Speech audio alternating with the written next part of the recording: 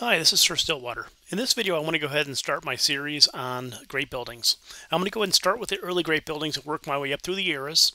So this is a great place to start uh, in the series, and uh, hope you enjoy, and I hope you uh, continue to watch the rest of the series. So first off, I'm going to go ahead and start talking about the Oracle of Delphi, uh, that being the first great building that you'll come across.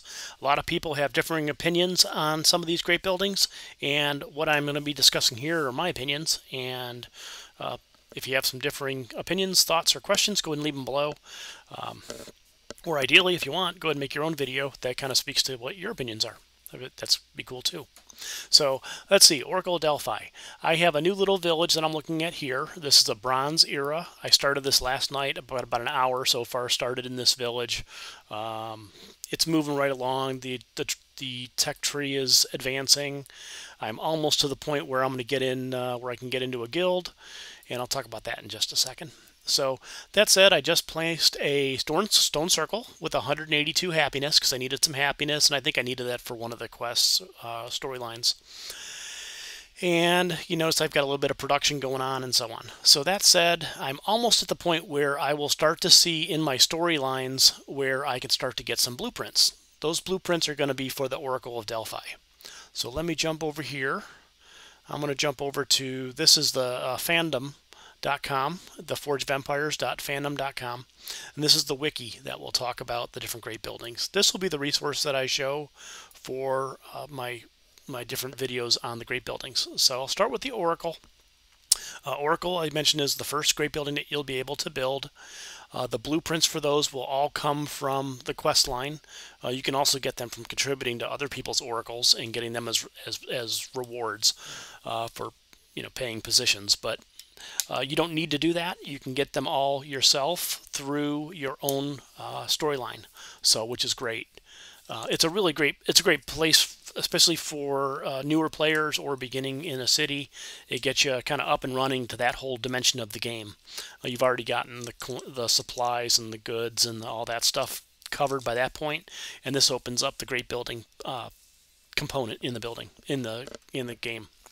So the Oracle Delphi, same size as that stone circle I just showed over there as my example. It's a 3 by 3 uh, It has no age, meaning that you don't need to spend any goods in order to uh, place it.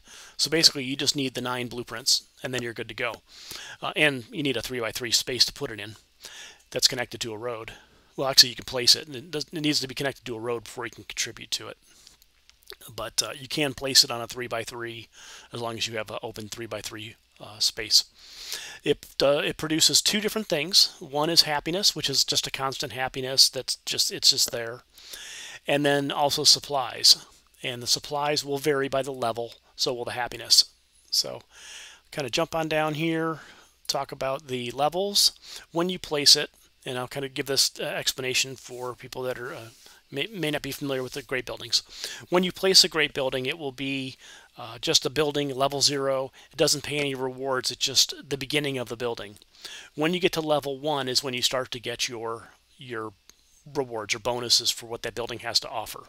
And in this case, it will cost 20 forge points contributed to unlock level one. At level one, when it's unlocked, you immediately get a 300 boost in happiness, which is just runs constantly. And then you also start to get the uh, 550 bonus supplies per 24 hours as long as they get collected.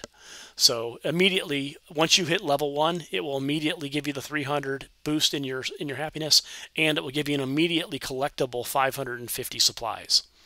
And then you collect it and then the clock starts 24 hours, another 550 available to collect and so on. Beautiful thing about the supplies, and then any really any of the rewards in any of the great buildings, is they cannot be plundered.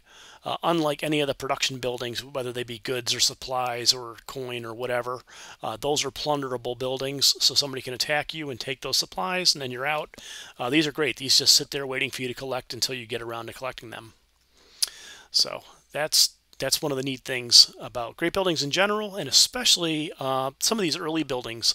So when you're in you're in Bronze era, uh, 550 supplies that just you know just show up every day. That's great. Just like the forge points that are going to show up at your town center. That's great. It's just it's just it's part of the game. So uh, it's a nice, nice piece. So something else that's really nice about these uh, early level buildings here. So we talked about that. You know, as you continue to level these and so on, you can continue to grow it. You can contribute these yourself, or if you're in a guild, and I speak to this in one of my other videos, and I'll, I'm sure I'll be talking about that more later in other videos is if you're in a guild and you participate in uh, FP swaps, the forge point swaps, this gives you a target uh, where people can contribute to so that you can actually participate because it doesn't make you know sense to be in a forge point swap. If you don't have a building that people could put their forge points on your building. So this gets you get you in the game and get you familiar with that.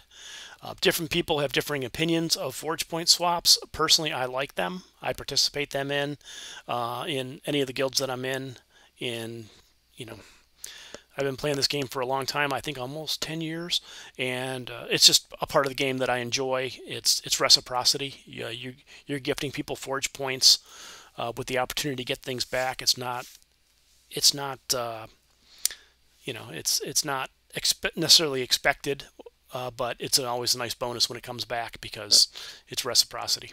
So.